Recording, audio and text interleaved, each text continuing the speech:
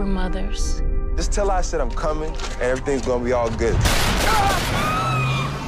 And when the worst happens, Step back, please, ma'am. You cannot be in here. we feel we failed.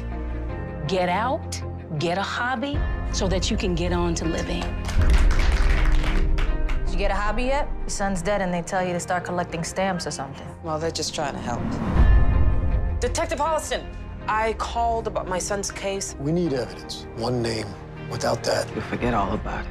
The guys who did it, they're still out there? I can't do anything about that. Well, what if you could? Would you? I just want justice for the ones who took my son. So let's get it. It's over there. What you want from me? There was a drive-by last month. I want a name. what did you do? He tried to kill us. Come on, go. All watch isn't. He took a cell phone and left the drugs. Did you see who that call was from? We might find the one who killed Stefan. Donnell Pete. And I know how to find him. Going to a nightclub.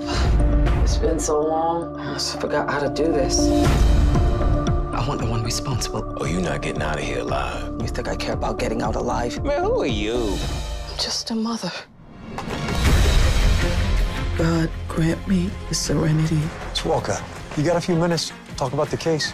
to accept the things that I cannot change. Somebody's identified the shooter as a woman. The courage to change the things that I can. That detective knows. So we just go back to our lives like nothing ever happened? It's not over. And the wisdom to know the difference. I am not going back to feeling helpless. We gotta finish what we started, or they're gonna finish us. You don't think I know who you are? I'm gonna kill you myself. Here she comes.